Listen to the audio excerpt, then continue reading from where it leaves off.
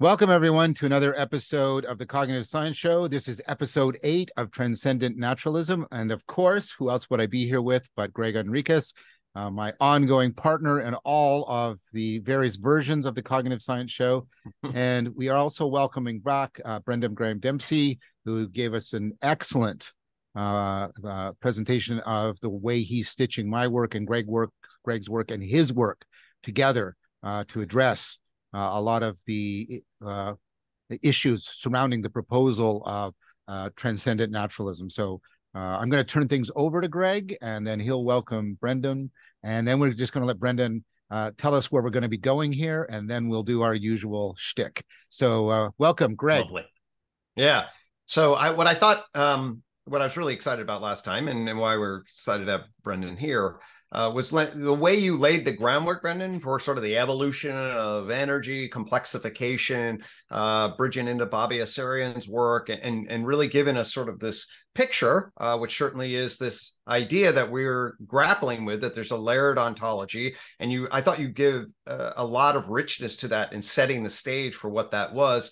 And then, of course, our argument is that we're conforming, bringing our own cognitive epistemic grip to that. And actually, as we think of sort of a deep ontological continuity Rich Blundell talks about, we're seeing that conformity between sort of the ontological layerings and our epistemic organization. Um, and I thought you did a really nice job of uh, giving us your version of that in a way that's very congruent, but also filled in some really key points. And then we were trail trailing, just as the series is about, trailing that into our current state um, and thinking about where we are in relationship to our worldviews, what's happened with modernity, how do we decide what is sacred, what is available to us through transcendence, strong transcendence, um, what kinds of things do we need to do to bridge from the wisdom traditions of the past to identify that kind of uh, icons. We talked about the elephant sun god, kaleidoscope eye. How do we orient? What does that mean without becoming very confused? Or losing sense, which is somewhat inevitable. How does that intersect with the times that we're in? And that's where I felt like we sort of brought us up to. Uh, and we were going to then take off from here for uh, the second episode. Yeah, great. Thanks. Yeah, that's that sets it up pretty well. Yeah, so I felt like we we were starting to move into uh, sort of the space of what do we do with this? What does it mean for our current moment? What does it mean for um, not just sort of in like a temporal kind of chronological sense, but also in this sort of kairotic moment mm-hmm. sense of like, you know, how do we respond to uh, the moment with any of this? Um, and in that sense, I think is actually really crucial because it's sort of like what adaptive insight about the world does this way of thinking even offer us that can give us a more optimal grip that can actually help us you know continue solving these problems that we're facing which are now at a very you know existential level. Um so yeah and and and i think i think john was also asking and intuiting that this is uh, bridges into some of these uh, conversations that have been uh, being explored by folks around a sort of reconstructive religious project of rethinking religion and the sacred, uh, resymbolizing it, and sort of developing mm-hmm. a language and a grammar for sort of a new worldview. Um, so I'll try to kind of pick up where we were and then see if I can kind of bridge that into that domain because I think it's uh, that's really kind of where we're at with this. And um, so yeah, so uh, just summarizing briefly some of the stuff that we talked about last time, um, in the sense of John talking about the leveled ontology and then bringing that into a UTOK framework and looking at that leveled ontology through the lens of you know novel systems of uh, information processing um, and and then tying that information processing to forms of meaning making um, and mm-hmm. adaptive strategies in response uh, of entities to their environments. Um, now, I kind of then zoomed in on the uh, on the culture plane of that. If we're looking at uh, matter, life, mind, and culture progression, uh, we've got kind of different learning processes that are showing up in this informational processing as information becomes more complex and its uh, richness increases and structural complexity increases. There's more energy. So all these things are deeply tied together. And i tried to bring in the work of um, bobby azarian uh, as gregg mentioned uh, who does a beautiful job in his book the Romance of reality that kind of frames this cosmic complexification process as a learning process. And so that's what I'm trying to plug into Gregg work, Gregg's work and John's work about seeing this happening, unfolding through the stack is a sort of progressive uh, learning through complexification uh, process. And so then we have sort of structural learning at the matter level, uh, genetic learning at the life level, uh, cognitive learning at the mind level, and symbolic learning at the at the culture person level and that's where we get into the whole realm of the sacred i think as we you know tend to conceive of it as anyway as sort of a symbolically mediated concept or set of praxis or or or beliefs etc and that's a lot where my work is focusing is trying to mm. track that progression through sort of the historical record mm-hmm. and looking at uh, the the complexification and the deepening sense of the sacred through time as a learning process and then this is of course kind of the key aspect because the sacred then is what is both calling us uh, well it's both what sort of deposits into the, our kind of collective representations uh, versions of you know successful meaning adaptations basically like when we are successfully oh. processing that information oh. about our environment uh, mm-hmm. and have produced some kind of adaptive strategy in a individual collective way um, that gets enshrined you could say in kind of the cultural uh, collective representations. And I'm using this term collective representations. It's sort of a sociological term that means like uh, it's not just right individuals having ideas. It's also the roles that individuals play in sort of downloading the ideas from their culture, which Gregg's work talk Gregg's work talks about very well with the justification systems idea. Uh, but and this then becomes key to what I think we'll be getting in now, getting into now, is that individuals also shape those collective representations. There's a, a dialectical sort of nonlinear process in which we're sort of forming ourselves and our ego structures by means of these uh, kind of culturally received uh, conceptions. Uh-huh. Uh, and we are also agents in the world who are shaping them. So this is where I think that the religious reconstruction project is fits in because, uh, and we talked a little bit about this last time, uh, in, in, the sense of what the learning process is sort of doing as uh, people bump up against sort of the limits of their world model, right? Their mental mm-hmm. map of reality, right? And that is sort of the occasion for learning, right? We develop our learning capacities through what Piaget would, you know, call assimilation and accommodation. We're mm-hmm. developing new schemas in order to assimilate our experiences to those. But when our mm-hmm. uh, assimilation is not able to do that, then we are kind of confronted we're bump, bumping up against our environment the objective reality of our environment in a way that we need to accommodate to and then that's mm-hmm. where learning occurs um, I want to come back to that idea because it's also really crucial for uh, thinking about the importance of awe and wonder. Uh, and Jonathan Haidt and uh, Dacher, oh, I forget the last name of the other author, did a great paper on this, uh, basically framing awe as a psychological response to uh, vastness that forces us to accommodate more of reality and basically move D- past. Dacher Keltner. Yes, thank you, thank you. Yeah. Uh, mm-hmm. so, so all of this helps frame, um, I think, this this um, way of thinking about the sacred as a learning process and to just to finish that thought i was ma- making earlier that the sacred both sort of enshrines in deposited cultural representations our our past successes at doing uh, this but it also uh-huh. kind of then serves as, as the as the assimilation template or the schema by means of which we interpret reality to uh, to sense or intuit those things that might actually complexify our world model, wow. right?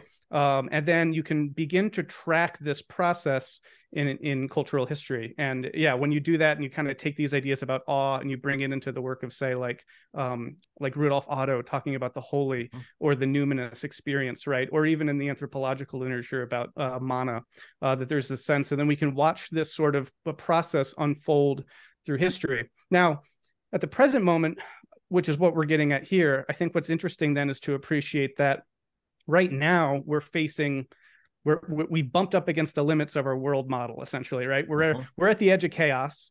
Um, and things are breaking down. And unless we can undergo this kind of worldview phase shift, uh, we are going to see a probable regression into a more chaotic uh, uh, state of complexity. Right? It either uh, we're either going to yeah take it, assimilate, or uh, let's say uh, develop a world model that we can take in an even more complex sense of reality through or things are going to fall apart and this happens at an individually and collectively sort of uh, you know nonlinear way these things are feeding back into each other so then I think the key here is to appreciate the roles that individuals can play when culture has sort of reached its limits. Um, mm. and and that is something that we have to then take up the task of individually of saying mm-hmm. all right how do i explore this domain of the sacred? You know what are my intuitions? What are my sensitivities to the transcendent? Um, and begin to then basically uh, give voice to those to to write them down to externalize them to objectify them to put them back into culture so that we can collectively bring these kind of new symbolizations uh, together ideally in sort of a, new networked way that allows for new collective representations of the sacred of the god concept of the divine. Um, and so for me, this is where we start engaging in, in ideas like personal myth making, um, which might initially sound kind of almost new agey and it's kind of like uh, oh we're just going to make up our own stories. And that's not really what i mean by this. I mean that there's something that uh, goes on in the individual religious spiritual experience that we can't get at a certain point from our collective representations if they're no longer kind of serving us for where we need to be and moving forward. And so we're sort of thrust back upon the individual to have the responsibility of of exploring that uncharted territory. And here, you know, you could bring in the work of of Jordan Peterson and talking about this sort of heroic uh, hero's journey aspect of going from the known world into the unknown and coming back with new things. So um, I guess yeah, I'll, I'll, stop there and try to bring in some more reflections to this. But that's where this starts to go for me, mm-hmm. um, and you know we can kind of unpack this and see what this looks like. But that I feel like is the where we wind up getting to with this learning model of uh, transcendence and the sacred right. uh, in, in our current situation. That's great. I'm I'm having very strong uh John callings as I'm listening to this. And what I mean by that is, you know, meaning in life, uh, in relationship to our realization on the edge of what we know and and and leaning into that.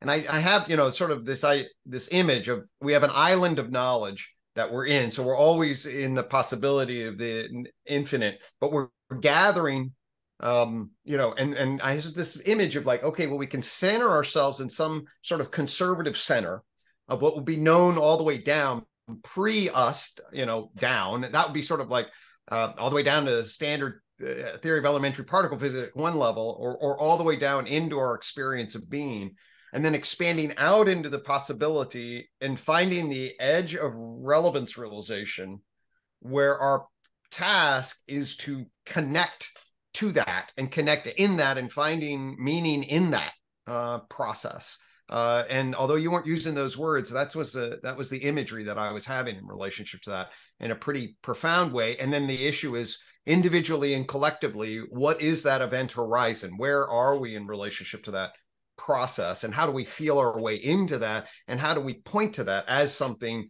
or can we cultivate that? Can we see that for the kairotic nature of our moment? So anyway, that, that I was I was struck by that image in John's frame that really aligns enormously with what you're saying, as far as I'm concerned.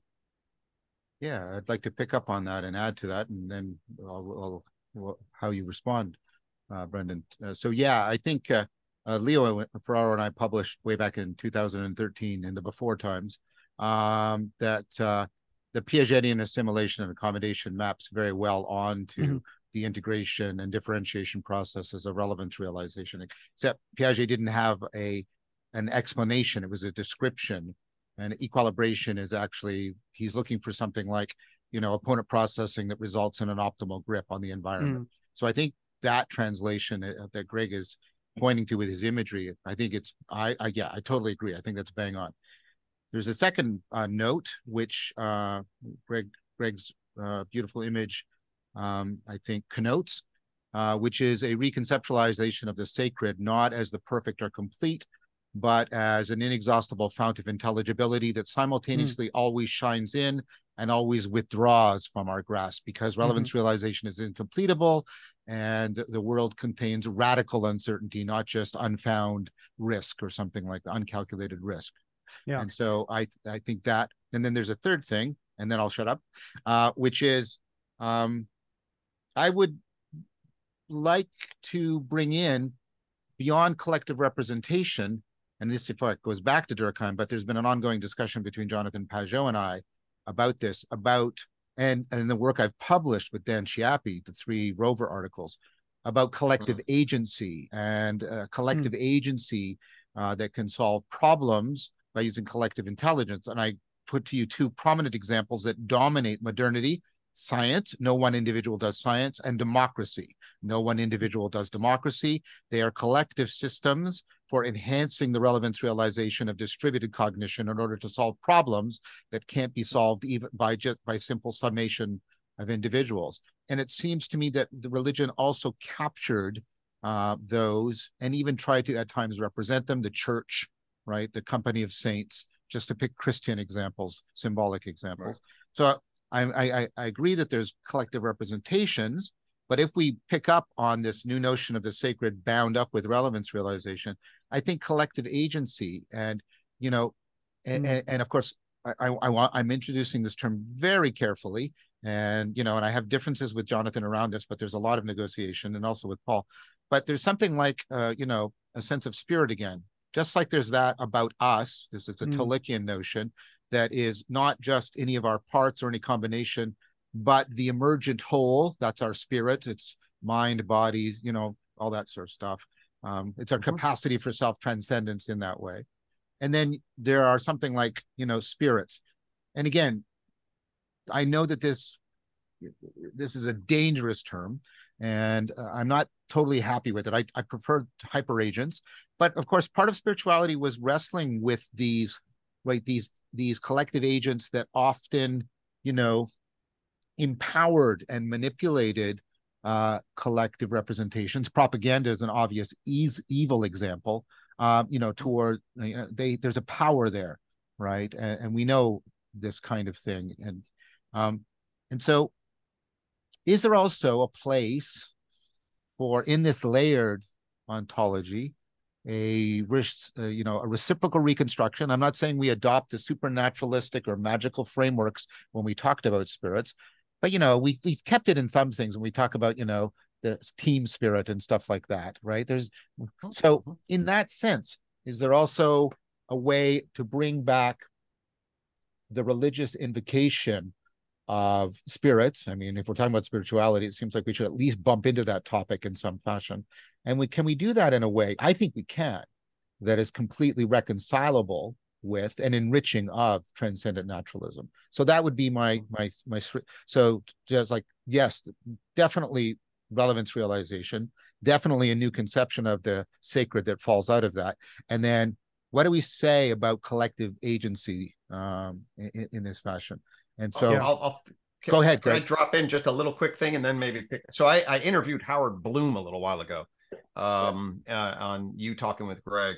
Uh, and you know he he's got a model of the universe very similar to true knowledge, and, and what he's really tracking then is sort of the syncing up of systems. So his intuition fundamentally is about, and he always rails against entropy. He's like, ah, that's all, and I think maybe overshoots some of that, but nonetheless, his focus is on the syncing up. And and I bring him up because he made an unbelievable impact on the music industry. He was consistently capable of identifying Michael. You know, you look at his history, and he, you know, accidentally launches the '60s. Why am I bringing him up? Because when I asked him, I was like, "Well, what did you do?" He was like, "I honed in on the individuals that were capable of raising the spirit I think he used that word, the yes. spirit of the audience. Like, like there was some individuals that had the capacity, and he would watch them.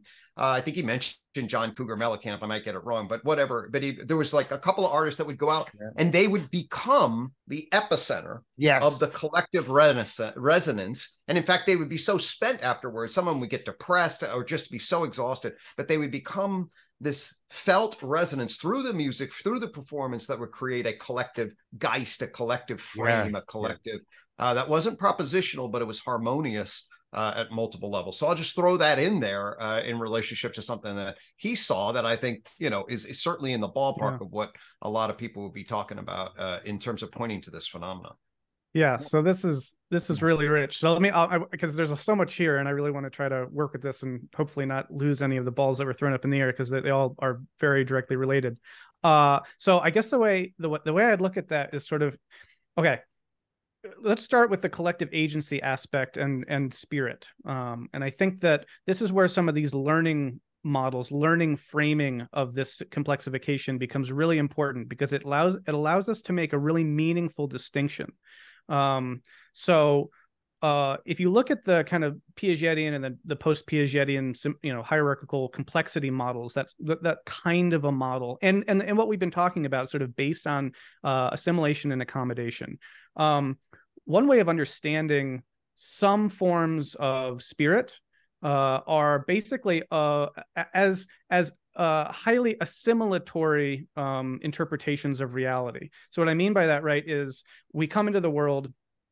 Um, you know, basically the uh, the constructivist epistemology of, of, of, Piaget says, okay, it's not a Platonic uh, world of knowledge in which we have, you know, there are perfect forms that we like conform ourselves to perfectly, nor is this sort of a Kantian world that we conform reality to our minds. It's sort of both, right? And so mm-hmm. by assimilating, well, by by accommodating reality, I can create schemas that then I use to assimilate to new information, and this is the opponent processing that's going back yeah, and forth. And yeah, as I do that, it's this bootstrapping process, right?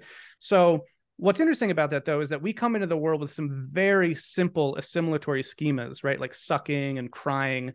Uh, they're just they're just kind of built in, and from that we kind of work up basically into abstract thought and philosophy and et cetera, because we're able to use these schemas that we have in order to make more sense of the world. More of reality gets disclosed to us as we assimilate them into our into our schemas and then find that they don't fully work. So then we have to accommodate them. And this process goes forward and forward, right? So you learn that, okay, I can't figure out exactly what this thing is if I just keep putting it into my mouth. I've got to do some other things here and, and make better sense of the world.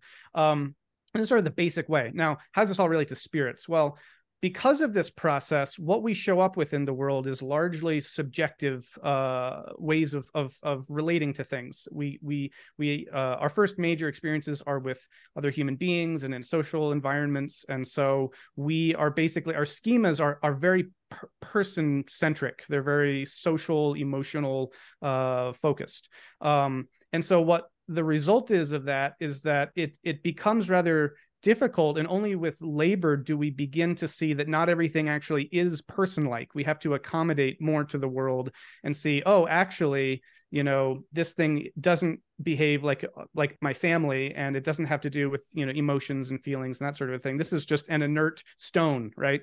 And this process is is is what kind of in Piagetian terms is is what you're tracking when you're moving from sort of the uh, you know kind of pre-operational stage into the formal operational stage, and you're able to make sort of mechanistic causal uh, you know connections in the world rather than sort of pre-causal subjectivist ones. Right now, what's really important about this is that this is uh, this can be a way that we can bullshit ourselves i guess and and and be wrong about the reality that's being disclosed to us if we are assimilating it to us and we are not properly accommodating to it right? So if i look at the world and i see a rock and i say oh but the rock is mad at me. There's a spirit in it then i have uh, I have basically projected something interior onto the rock that a more f- complete, or I shouldn't say complete, because to John's point, I'll talk about this in a second, this is an infinitely receding thing. We need to talk about that. But a greater disclosure of reality would see that, oh, that that intentional aspect of that rock is actually something in me,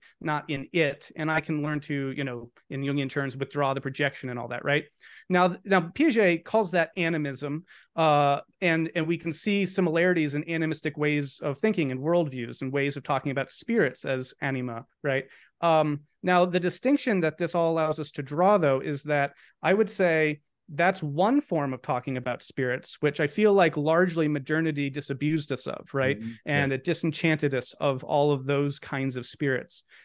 But there are these other things that you're talking about, these hyper agents and these hyper objects and these things that are more complex mm-hmm. than our assimilatory schemas that we need to accommodate to that um, behave in ways that might have characteristics that are um, well, if not person like, let's say, then uh, reflective of certain kinds of uh, capacities, or um, and, and this gets into issues of collective, you know, intelligence and and how these mm-hmm. things show up. And I mean, Durkheim talked about collective effervescence and things like that. There are things that happen when we all come together, and either to make sense of things or even just to experience that don't happen individually in isolation. So there are these emergent phenomena that arise from more complex things, and we might very reasonably be able to frame those in spiritual terms.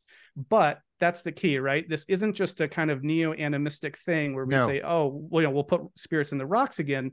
What we're what we're gesturing towards is that there are and probably have been for a long time that also, you know, ancients were picking up on as well and this is why it becomes kind of hard to disentangle the two right when you read ancient sources are, are you picking up on something pre-rational or trans-rational mm-hmm, this is mm-hmm. sort of the key idea here so anyway mm-hmm. this learning framework allows us to disentangle those two things in a very helpful way i think and be able to say okay yeah maybe we can let go some of the more assimilatory animistic framings of spirits but it just gestures towards a a broader complexifying universe where there are phenomena that exist that it might make sense to think of those things as entities in in various kinds of ways. And here you know we get into potential danger zones and slippage and all sorts of things so we have to be careful but you know i think i think there's a, a broad kind of awareness of this idea out there right egregores and these sorts of mm. things that are yes. these kinds of hyper object agents so anyway i just wanted to say all that um, but I, I also want to get into this really crucial aspect of uh, the illuminating and the receding aspect of all this, right? Which is in the elephant sun god and whatnot. And I think that that's really crucial as well, because it allows us to think about this whole process as basically if you reify the, the process itself as its own sacred phenomenon, uh, then we get a sense of, uh, let's call it the divine or the sacred that is basically uh, the process unfolding, right? And so we it doesn't need to be a thing that there is this uh, this thing that we are totally ultimately aspiring to that will be achieved or something like that in some ultimate absolute way. It's that the absolute is the process itself of collective, or I should say, um, continual, iterative, you know, recursive, receding, recession and illumination or something, right? And that that that is the nature of this sacred mystery of reality. That is the nature of the sort of uh, you know the the depths and the profundity of of the sacred mystery that whose you know whose depths can never fully be plumbed. And then you get this very uh, kind of mystical apophatic appreciation for the sacred that is the very thing that is disclosing of itself that is revealing itself through the learning process that we're talking about. Um, so anyway, th- th- those are a couple of points I wanted. Oh, the last thing I wanted to say briefly about that, and there are other things I, I do want to talk about the individuals, uh, Gregg, that you mentioned, and the charisma and the and the the, the raising of the spirit as well. Um, but I just just want to name as well that uh, John's question I think also gets at asking the question of of hmm, how do I want to say like the the target, the goal, the the even the continually moving target, the continually receding goal but how do we think about uh, the where the direction where the levels are are headed to if that makes sense right? And i think that this is a really important that starts to bring up issues around like o- omega and the omega point and the questions like that that are uh, i think that can be handled in better or worse ways depending on how we make sense of them. But i want to in in a way that ties in with what i was just saying posit that we can think of the new God concept that we're potentially working with here as a an iconic stand-in for whatever that infinitely receding and illuminating thing is and we can call that something we can call it omega we can call it the elephant sun god or what have you but that orientation i think provides us something and it, it is a re-symbolization and a reconceptualization of the sacred that i think can can help us get a better uh, grip on reality uh, uh, for our moment. So anyway there's there's too much there with other things there but i'll just i'll, I'll stop for now. So it, it seems to me then given what you've just said that the imaginal properly concerned now takes on a central role mm. uh, because the imaginal is exactly that which, right, um, is not uh, the assimilatory projection, but mm. is hmm. the use of the image in order to sensitize us to, in order to augment our ability to perceive in an accommodating fashion. Mm. And the imaginal is precisely that which understands that whatever it is grasping, it is nevertheless the, the thing grasp is also receding from it, or otherwise it wouldn't be imaginal, right? And so it, that seems to indicate the imaginal taking a, a important role, which means not only are we pushing for a reconceptualization of what reason and meaning mean, we are also reconceptualizing, we're trying to liberate imagination from the way it is now sort of uh, generally all, almost by consensus conceived of that an imagination is mental pictures and it's a kind of withdrawal from reality and and and, and, we we've disconnected it from its epistem, epistemic and aspirational functions so it seems to me that would be important. And then given what you you you you were saying about the the the, the way we're like you were exemplifying exactly what I was wanting to talk about. What I mean by that, you sort of did the reciprocal reconstruction around spirit. You just did it. You just did it, and we sort of done an earlier version of faith, and then mm. th- this is a this is a a question that I think we need to get at in order to address the question you raised about the sort of telos that isn't a telos kind of thing, right? Mm-hmm. Which is, and I, I, mean this in a Hegelian sense. So I'm trying to, uh, like, on whose authority do we do these reciprocal reconstructions? Mm. Right? Where does where do we get?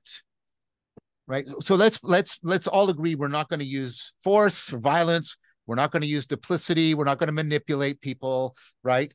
So what is it this is kind of like I know this is like an L.A. Paul Agnes Callard question. Unless people have this vision, how could we get them to authorize mm-hmm. us to propose this vision such that they it, you, you see what i'm getting at there's mm-hmm. this is plato wrestled with this is the catch 22 mm-hmm. problem of how to mm-hmm. get people into philosophy if they're already not deeply interested in philosophy and i'm trying to do a version of that and i think that question I, i'm proposing that that question has to be addressed if we're going to get any sense of how we answer the telos that is not the telos question. I don't know how that lands with the two of you, but that's an argument I would make. Uh, that lands well with me. I mean, and I, I mean, I think you're, you know, let's go with the, let's stay with the theme, John, of that, uh, that for the two of us at least, uh, enables a constructive opponent process. And they, I think you just laid out a structural uh, yeah. comment about where we are. That's very, very, uh, you know, uh, apropos uh, and feels very resonant. Um, so I'll, let me let me throw out a logos content uh, in the form of the fifth joint point. Ah, okay. Ah, yes, yes. All right. So, in relationship to, we, we need to feel our way into the imaginal in a particular type of way, and we need a collective awakening uh, in relation, and we need to understand the underlying structure. Um, for me, I think maybe we can go a step further and we can actually say, with a new grammar of understanding, given by what what Brendan's laying out, what tree knowledge lays out. Uh, it's like okay, energy and a matter. All right, there's a coalescing there of complexity, and then there's a you know these information processing systems. This is what happened to me in 1998 six months after i sort of stumbled on the tree of knowledge. Like what are these cones? Well they're complex adaptive planes of existence that emerge as information processing communication networks okay? And now uh, and i'm hooked up with uh, john as you know and varun and uh, other people in google mind that uh, jordan hall hooked me up with um, and i'm talking with them and basically what i was saying to varun who's in who's looking at this from an ai perspective um, which by the way so just everyone knows the fifth joint point is the idea that we're at a culture person plane of existence that's know, centrally mediated organized by our propositions that allow us to be culture persons as well as minded animals. And each one of these jumps is an information processing. Well what is the what what what did we do in the 20th century? We laid down basically the interconnected digital world and then we're generating independent artificial intelligences and then things like chatbot are creating an active interface with our justification systems in a way that is just only going to increase through other kind of cybernetic interfaces and whatnot and so for me, the issue is the fifth joint point is a what I call wise NAGI, which is wise natural artificial general intelligence. Okay. Mm-hmm. So it's we what it says is we have to figure out the bridge. And John, in 2014, I think you did a TEDx talk yeah. that basically did this exactly. You're like, it's wisdom and technology. And I would say wisdom naturally grounded and in an extended naturalism across a wisdom stack that ever recognizes where we are on the planet and what we're relating to. And now we find a kairotic moment of unbelievable transition through a new, unbelievable, infinite possibility uh, of a whole new complex adaptive plane. And we have to grab the spirit of the moment to be oriented. And somehow we have to sort of collectively wake up to that and allow a collective intelligence spirit orienting us into an imaginal possibility that you know, guides us towards the back half of the 21st century in a way that is wise. I, I want to pick up on that first, Brendan, if I may, because I think that's a brilliant proposal. Um, uh, it aligns with a uh, the video essay I did on um, uh, uh, on dealing with the advent of AGI, and uh, also shameless plug with the book that's coming out called "Mentoring the Machines." It's coming out very soon. Um, uh, maybe it's out by the time this video is out about just that. But what? But but there's an argument in there specifically. I mean, there's an issue about how we get the alignment, and I think the answer ultimately has to be, like Gregg was saying, we and it, it's it has to come from this. But he, here's here's a proposal I hear, Gregg. Now I don't know if you made this, but I if you didn't, I want you to have made it, which is the the the the the proposals that properly predictively prepare us for this so we can enter into right relationship wisely with this kairos are the proposals that should have authority now that's what i heard heard you saying in answer to my is am i reading you correctly course. Thank you, because I think that's exactly right. It's interesting because when I was uh, was when I was in the the the Chino conference, uh, Paul VanderKlay made a similar argument that this the, the this little corner of the internet should be the place, the commons, not the market, not the state, but the commons from which we try to deal with the kairos of the advent of AGI. And those two things I think are deeply related proposals. I think that's right. I think I'm in fact I'm very satisfied. I'm sorry, Brendan. I know you want to answer, but I'm very satisfied with that as a proposal. I think at the I think that's a general principle now that I think about it, Gregg. I think this is brilliant insight. In the moment of in Kairos, what gets authority is that which can reliably, wisely put you in right relationship to navigate through the Kairos. That's that's where you look for. And I think that's that's the right answer, Gregg. Thank you. I think that's the right answer. Yeah, let me. So a couple things I would also add to that. Um, I guess I'll talk about that. I'll speak to the authority aspect first, right? Which is, um, which I think is is the the most immediate kernel that we're we're grappling with here.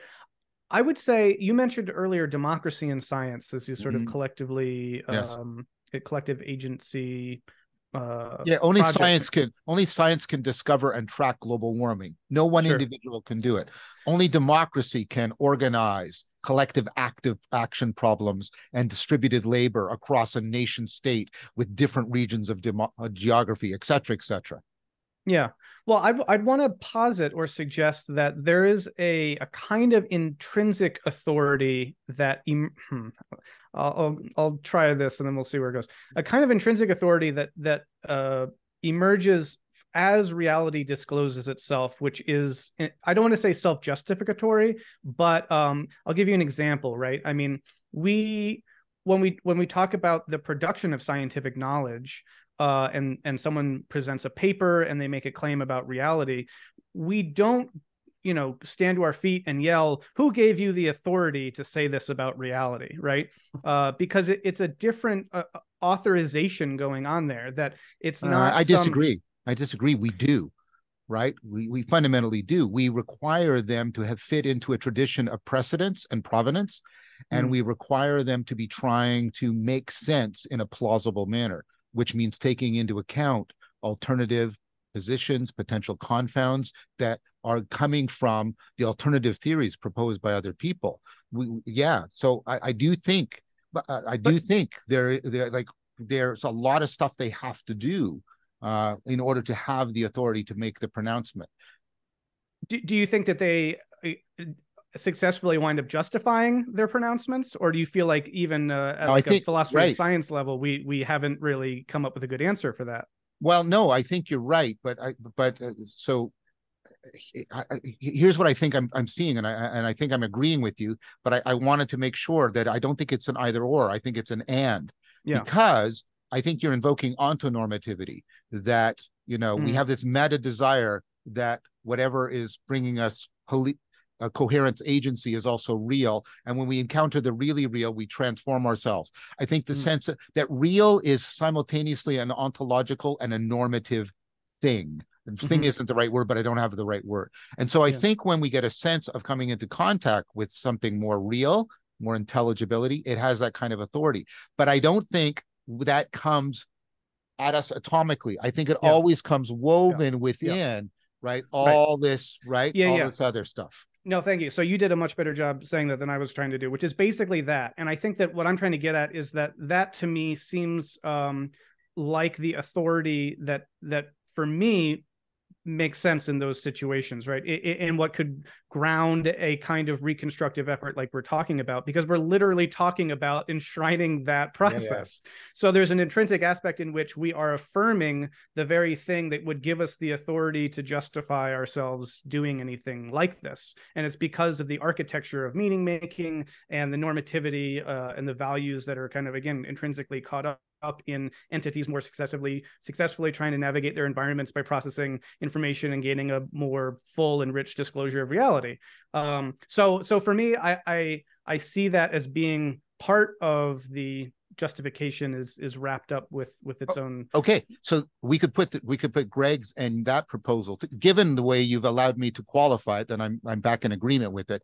And then we could say it's it, it's like it's like uh, uh, uh, uh, uh, well, it's almost like I was going to say like Piagetian assimilation and accommodation. But anyways, I mean, we could say that that which has authority, right? There's a perennial aspect to it, which is the perennial aspect is it you know it increases intelligibility and puts us under ontonormativity but there's also a pertinent aspect to it which is yes but it should be putting us in contact with ontonormativity in a way that is deeply relevant to the kairos we're in Yeah. and then you could put the two together in that fashion Yeah, and I guess what I would posit too that's really important about this is I think one that this, this does kind of break down into at least two really important aspects to this question. One is is is uh, kind of philosophical justification. Uh, the other is sort of just the strategic, like what would work. So like, well, I might totally assent to your notion that uh in moments of kairos then you know it should be the wisdom that blah blah blah Yeah. blah. Blah everything you said that sounds great. But if other people don't hold that then Yeah, yeah, it doesn't have a strategic success right? So one of the things that um, I think uh, is related to both of these aspects, though, is that when we appreciate that there is a leveled ontology, when we appreciate that then there are also different levels of epistemic relationship to reality, oh yeah. right? Then we need to fold those into uh, whatever justifications we're going to be thinking about, certainly at a strategic level, right? And so, so for example, I mean, what, what we're talking about here, I think, does naturally, I'll just use that word, uh, disclose itself as you kind of dig deeper into that you know that edge of chaos and you start moving right? It starts to disclose itself and you're like so i'm i'm satisfied with the justification of that coming through. But what i think then needs to happen and this is actually part of this kind of maybe a really important part of this coming back in and grounding these ideas in the culture and whatnot is being able to translate this idea into the different logics that exist through the learning process right? So for example um you know and and I think this is something that both Gregg and I are really engaged in is the mythopoeic expressions of of the of the different sort of yes uh, you know logoi that we're working with which the logo are basically the same but the myths are different um, and and that itself has justification when we think about this whole element of this being iconographic and and it's not about the the symbol is just the symbol and all this sort of a thing but but yeah just to just to really yeah, yeah. quickly finish no this no off, no just- this is great so, Keep like, going yeah. So like, so if you frame what we're talking about, not in terms of recursive emergence and relevance realization, et cetera, et cetera, but in something in a language more mythic, like God is waking up. Uh, or the self and the universe are coming into communion, or there's a there's a love story uh, underway between the mind and and and the universe or reality or what have you, right? And the and the imaginal framing of of Mm. of this architecture that we're speaking to which is translatable and and emotional and grounded and embodied in a way that is that is also then therefore more robust and can speak to the whole level of sort of the epistemic stack which is re- really another term for or I- I should say is manifested in terms of of um of society of the, of the collective that we live in right i mean there there's a, a plurality of different modes uh, of Mm. engaging reality in all these different ways and if we're if we are justifiably speaking with authority because it's a disclosure of reality i think one of the the impetuses is to translate that into language that is communicable uh, down the stack does that make sense and then i think Yeah. this yeah I want I want to grab this, all of this then. That that was another good point. So I'm hearing this right? Right. We we we need the imaginal that can home us in the perennial ontonormativity, mm. that can orient us towards the horizon of the kairos, and that can commune across different levels of the ontology and the ep- uh, and the epistemene. Is that is that what mm. I'm getting? Right. Totally. That, yes, yes, that that's yes. very good. That's very good now it does open a, a, a, a, an issue which i think you specifically john might might have problems with because i know you've often struggled with the issue of equivocation in religious language right? Yes. Is thomas aquinas's god the same as you know uh, the sunday well school yeah but, my argument against paul when he says you know christianity yeah. does this and i said but does christianity really do this or does it just equivocate? Right? Well, right yeah. And I, I, feel like we might have to be open to or maybe even celebratory of the power of equivocation to be uh, acting as this translating uh, mechanism, if that makes sense, right? If we're well, able, yeah. I have a couple. I have a counter proposal to you, which is a theoretical alternative to equivocation, which is something that uh, you know, which I learned and I exemplify, but I learned it from Nishitani, which is not equivocation but double entendre, a double hmm. meaning, mm-hmm. like how I hmm. use realization. Yeah. Mm-hmm. Right. That's that. Mm. That instead of equivocation, but of course that's just one move. But we could find things that are multi-layered yes. Yes. in that that kind of capacity. And of course, right. words typically logos, to use a classical example, is exactly that. Logo, mm. it's not an equivocation. They mm. people aren't equivocating. They are trying to evoke all of these different possible meanings because they're not antithetical to each other. They're all in concert together. So when John is saying, you know, nice. in the beginning was the was the logos, he's trying to mm-hmm. invoke yeah all of this. Yeah. He's not equivocating. Yeah. See, and I think and that to, to me that reminds me what Jung, right, and Tillich talk about how how symbols are actually they're not equivocal, they're condensed. They're, and I think that's mm. what they were trying to get at. So yes. that's what I would offer as a counter proposal. Yeah, and the last thing I'll say before I want to get Gregg in here too is is that a a, a multi-layered reality requires a multi-layered not just map of that reality, but a symbolic articulation of that reality so that the sacred is multi-layered and it demands to be expressed in multi-layered form. And so i think that that's what we're getting at here is that what language what imaginal language could do that could work through all those different layers. I think that uh, that sort of it helps clarify in some ways the the task just one thing before gregg replies which is yes but I think we can do that without having to license equivocation because licensing yeah. equivocation opens us up to all kinds of bullshit and self deception. Sure. Right. So I think there's a way yeah. around that too. Yeah. So now I'll be quiet. I, I mean, I'm soaking this in. This is beautiful. Uh, and so, and, and I, I think for me, the, for me, the issue is one of translation, but I will certainly say, uh, John, the double entendre. I mean, the when I found out the meta modern uh, sensibility, sincere irony. Okay, mm. uh, it was when I re- that's what it, that's what I was called to to, to it's a cartoon and a garden and a theory of knowledge for the 21st. I mean, what the? It, it's actually all those things, it, depending on how you hold that, you know, in a particular sort of way. So there is a the multifaceted double entendre of meaning. And I think, but Brendan's point, and this is a real struggle like I have, learning my system is not easy. you know, and then people get it wrong. And it's like, when you got it wrong, what do you mean by justification?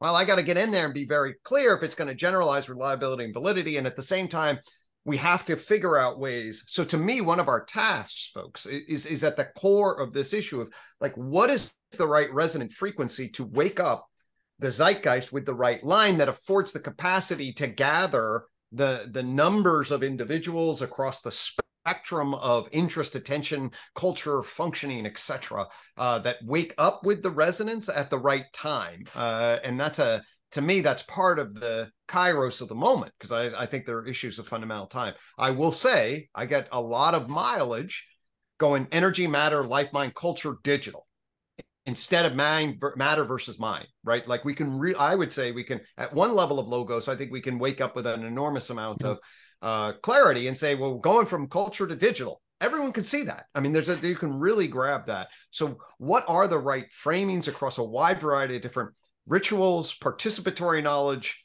uh, you know, uh, justificatory knowledge, etc. Uh, that that does does this job of double entendreing what uh, to afford lots of different meanings to be held together, but has a crisp enough logos all the way down that holds a reliable and general truth claim. I, I think those are just brilliant and powerful reflections, and I think that this is what this is all about. There's a transcendent naturalism fundamentally about asking these kinds of questions and groping toward them. So it's very exciting. Yeah.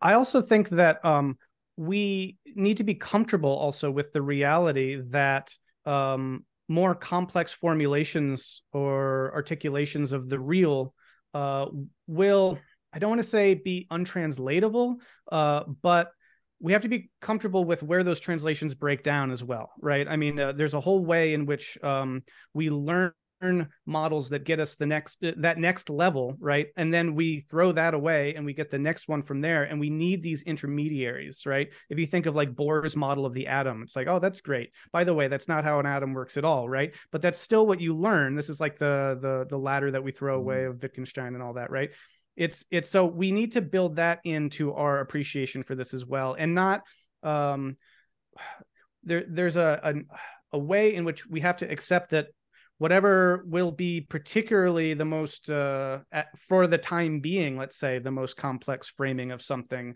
uh, yeah that might just be required jargon and rather heady conceptual ideas and that shouldn't necessarily speak against it as long as that's also able to find resonance further down at multiple other uh, layers of, of expression uh, so that it's not just sitting up in the cloud somewhere as as this you know sort of idea. And then that that, that is, I think, a, both a philosophical and a kind of strategic consideration that we, we would have to think about. Absolutely. So so uh, I think I, I I'm this whole answer, like like I said, the you know the ontonormative perennial home and the kairotic, you know, prospective uh, calling, and then then the the getting the the communal resonance um, um, as the the basis of authority, and we I mean, we reciprocally recognize with all of these poles pulling on us, um, and we and we respect those who are being pulled by them. Um, I think that's a really good answer. Um, so uh, I'm wondering then, unless you want to go somewhere, but or do you want me to frame a question? Well, I have a thought, but I'm also you know necessarily very interested in what that question would be. I'll just throw this out of there, and then we can throw the, do your thought first. That's great. Uh, yeah, just my thought is um, uh, I guess to use myself as an example of where the translation works in my life, and I think this also addresses a little bit of some of that aporia that we that we uh, kind of mm-hmm. broached the last time, and the potential despair and all these things, right? Which is that for me personally, I find it incredibly meaningful to be engaged in this process, to be a part of this process, and to make sense of the world in this way so that it works at a visceral embodied level and that i can i am very comfortable using language uh, through symbolic language but but with a deep reality to it as well that there is some process underway in which uh, reality is coming to know itself right? As as as carl sagan uh, said that you know we are a way for the cosmos to know itself um, and thinking about this process as a cosmic process unfolding in the universe um, it seems to work for me at the logos level and the mythos level in a way that I'm very comfortable making those uh, register leaps. And so that to me speaks to something that like this is this this is something I get out of bed for. Uh, you know, this is something that engages me uh, as a meaningful enterprise and a, a, meaningful way to frame my own existence uh, in reality, which is both a meaning in my life, but it is also a framing that does give a meaning to my life because I'm able to con- to situate this activity within an ultimate environment that goes beyond me that I am part of. And uh, so I just wanted to name that too because I also didn't want to give the impression that like uh, you know that that yeah that that platonic issue of like oh well the philosopher kings will come up with the myths and then they'll trickle down to the people right it's like no like it it needs to work at a at a embodied lived reality uh these truths that are being disclosed about reality in some uh, important way and uh, I just wanted to kind of throw that into the into well, the room. That's a great segue for my question, and thank cool. you for sort of your Kierkegaardian stance. Like this, I, this, this, I now this is not an abstract system. This is I live this, and I have decided for it. But I mean, what what you're invoking, and what we did, what we got to last time was a reconstruction of the notion of faith and of course, this is why I'm asking the question of authority, because faith mm-hmm. and authority have often been uh, there's certain let me put it this way certain conceptions of faith certain conceptions of authority certain conceptions of the relationship between them have been used to denigrate and mm-hmm. suppress mm-hmm. reason in, in not in the cartesian sense but in the broader sense we've been talking about here mm-hmm. and so that's what i wanted to get i wanted to get given and i think you just did it wonderfully and i take what you just did given how we used the term last time that was your statement of faith hmm, right mm-hmm. and that was your statement of faith and then that statement of faith is in relationship to a certain kind of authority that we've been talking about and then i want to know okay but where's the third uh, in this model which is you know in what what now that we've reconfigured those two and their relationship together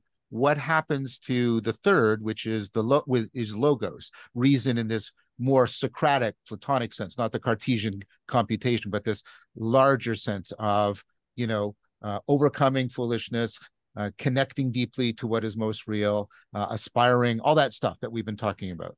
Uh, mm-hmm. Especially when we now made a case for the for the indispensability, maybe even the metaphysical necessity, but at least the uh, uh, indispensability of the imaginal.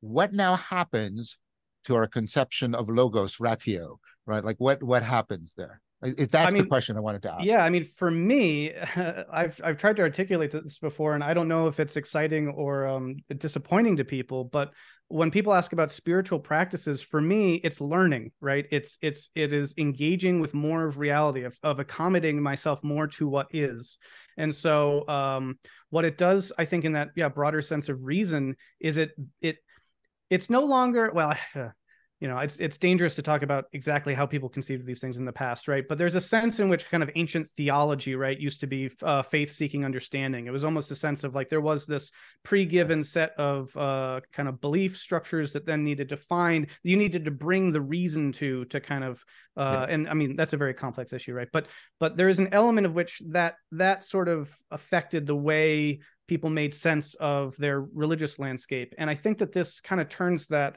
on its head in a way that sort of sacralizes reason uh sacralizes intelligibility or sacralizes yes, yes. the the disclosing the the search for knowledge right i mean if you're if you're if you are an epistemic agent situated in this tree of knowledge and you're relating to it and and the whole thing is this profound relationship between subjects and objects engaging uh, transjectively each other and disclosing more of what's going on and that being something that seems to be built into this sort of recursive mechanics or architecture of reality and, yes, and existence. Yes, yes. and so that to me is is profound and beautiful and starts to sync up and plug into various mystical notions of the the subjective and the objective and the unification and, and all these sorts of things. So long story short for me um yeah when i when i learn more when i expand my horizon when i am forced to accommodate when i'm challenged right and i and i have to grapple with something that was no longer the case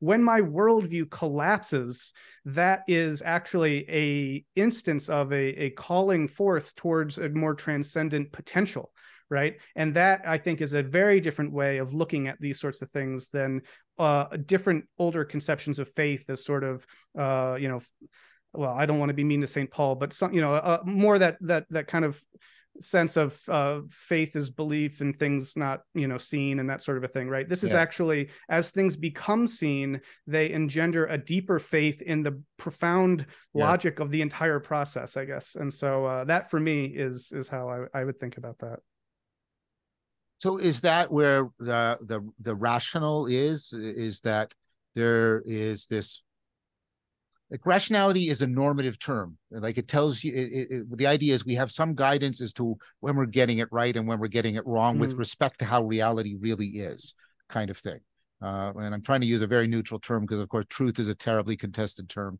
uh, etc um, and I, I and i'm getting a sense but i'm i'm like what would it be like if somebody came to you and and said you know well isn't just all of religion just irrational by nature right and uh, and yes you're talking about faith and authority but like that's exactly why i don't go to church mm. right uh, uh, you see what i'm trying to get at I, yeah. and this goes yeah. to what the strategic you see i've been doing a lot to try and argue no no the rational and the imaginal are just interdependent you can't have one without the other um and, and that um and, and that uh, rationality is about uh, uh, ultimately about trying to conform the grammar of cognition to the grammar of reality. Um, and that's what we're talking about here. And and faith yeah. and authority as we've reconstructed them are both in this.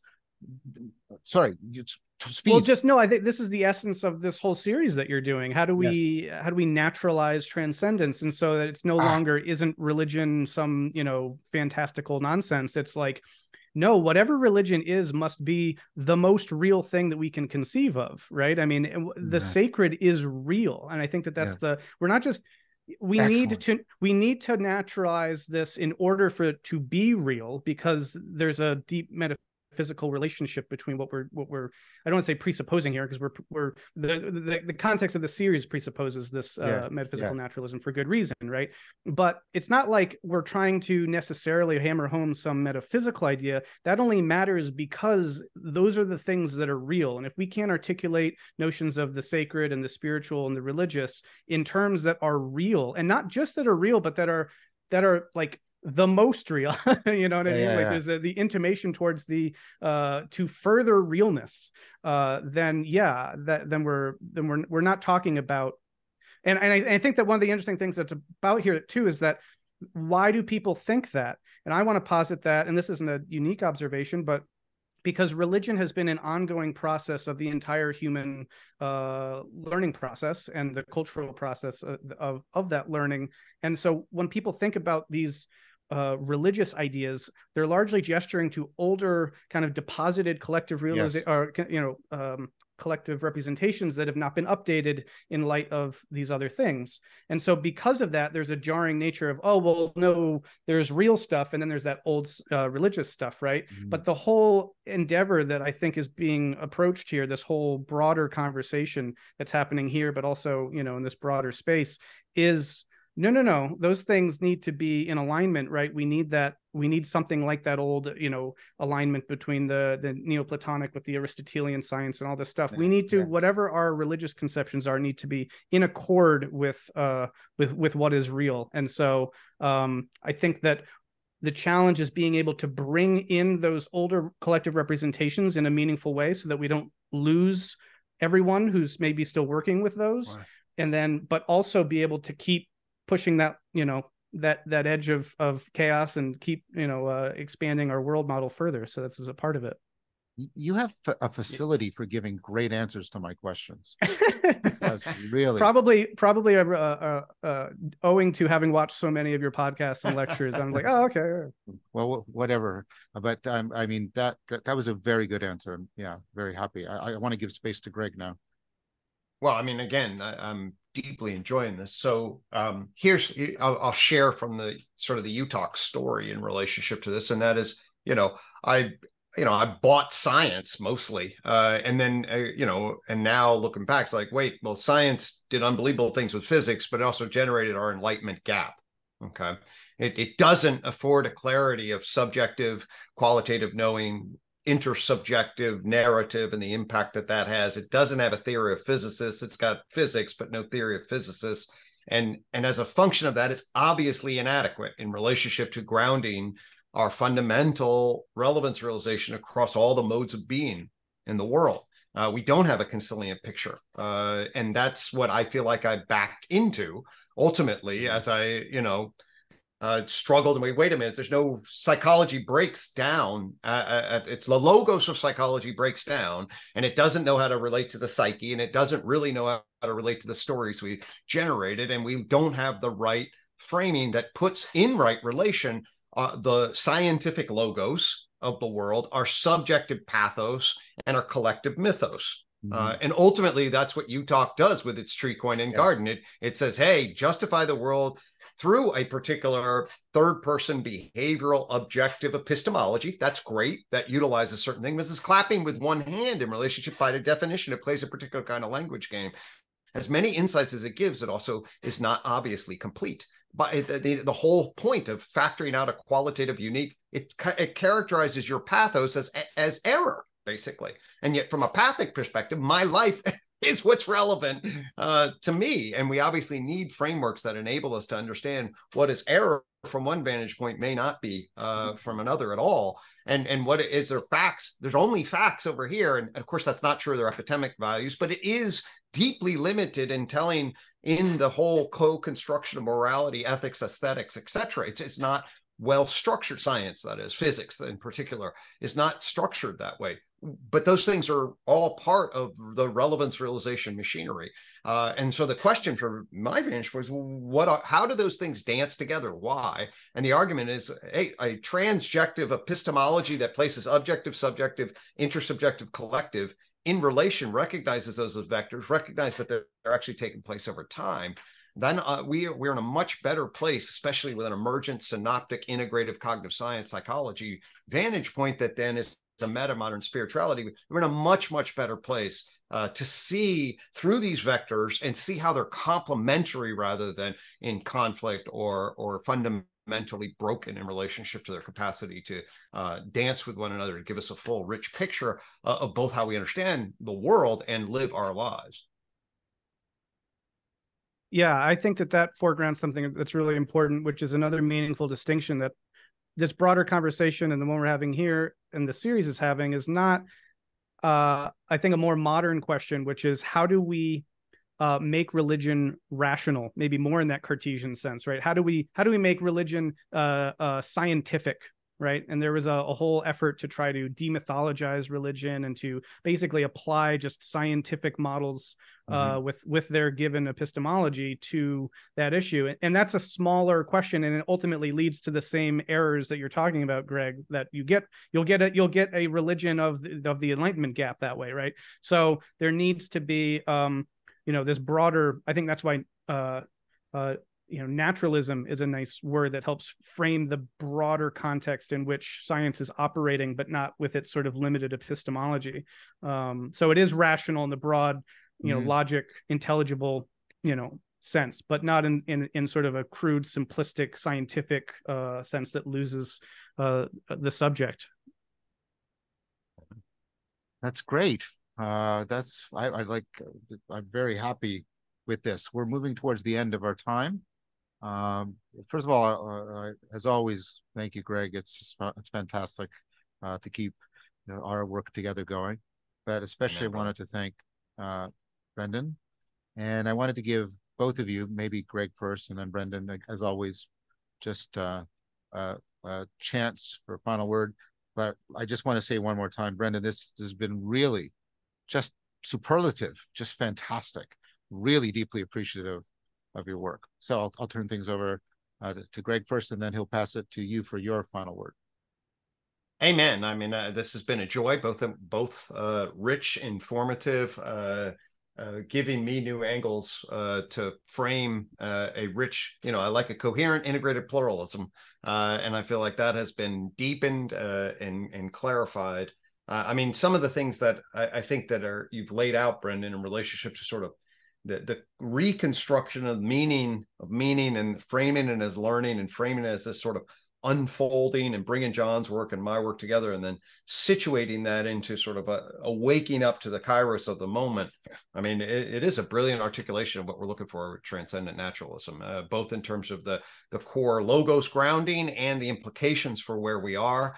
And I think the great question for all, all of us uh, is, you know, kind of well what does it mean? Well both for our lives and then what what do we do? I think we're grappling with that. I think you're grappling and embodying that in in the way you live uh, you know at, at, sky meadow uh, and and the retreats that you do and the callings that you offer folks uh, to come together and reflect on uh, and it's been an honor and a pleasure gosh thank you for that. I thank you both for this. This was an incredible uh, opportunity. It's uh, clearly a topic that i'm very passionate about and engaged very deeply in. And um, yeah i i i both I guess I also I just want to end by thanking you both for your work, uh, which has been you know sort of talking about talk about leveling up. You know, you got to stand on on uh, on shoulders to to to get there, and so um, I appreciate so much of the clarity that uh, both of both of your works bring. Um, so anyway, um, yeah, there, there's an ongoing conversation here. I look forward to watching the rest of the series and who else you talk to. Um,